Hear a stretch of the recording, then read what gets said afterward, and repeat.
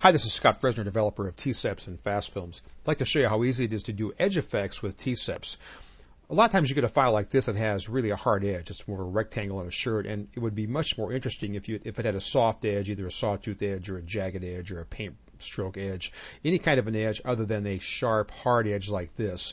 And T-Seps does this easily. Now, when you run the program, it prompts you and says you must marquee and tell T-Seps where the edge has to be. If you don't tell the program where to put the edge, there's no additional canvas away from this design. So it doesn't know what to do and where to put the edge. You click on the rectangle marquee tool and the program does prompt you and says, give it a marquee about a half inch in from the edge of the design.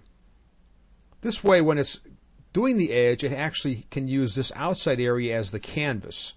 Now, the program will duplicate the file when it runs this routine and will keep the marquee in the exact same spot on the original file. That's important because if you're going to do light and dark shirts, you know that when you run T-Seps, you must have a version of the file with black in the canvas area and a version of the file with white in the canvas area.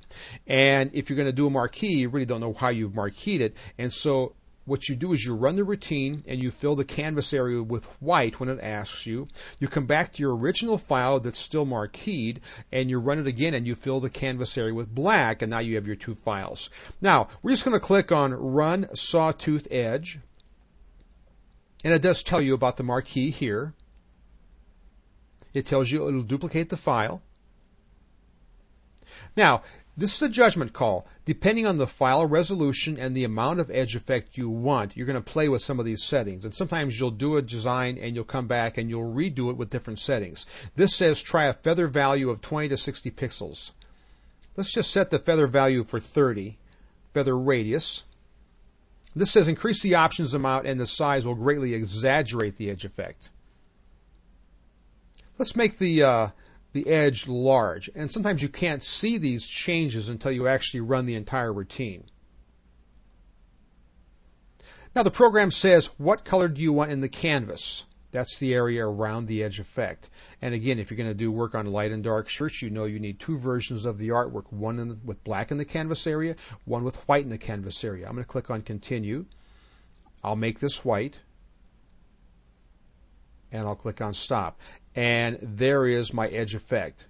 And this is a sawtooth edge effect.